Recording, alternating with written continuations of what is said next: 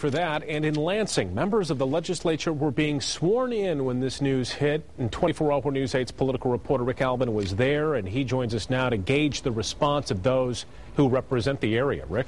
We talked with a lot of legislators, and some of them already knew about these cuts. Others learned about it as the day went on. But it isn't new in Lansing. In fact, in Lansing, they've been dealing with this kind of bad news for a long time. But there does seem to be a resolve to try to stem the tide of job loss.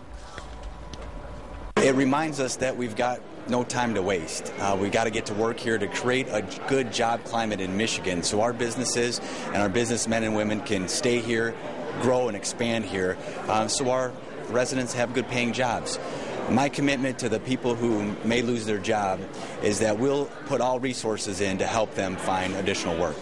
What can the new administration do? What can the new legislature do to try to maintain the jobs that are in this there's not just one thing. We have a business climate problem here in the state of Michigan, and that's going to require a series of good decisions over the coming year.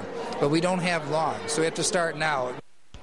Now, the idea that the governor and the legislature will work quickly on whatever plan it is that he comes up with is pretty much universal. But we'll have to wait and see what that plan is. We'll find out more about that a week from tonight at the State of the State and tomorrow when I sit down with the governor and talk to him about his plans to try to keep jobs like the ones lost today. Back to you.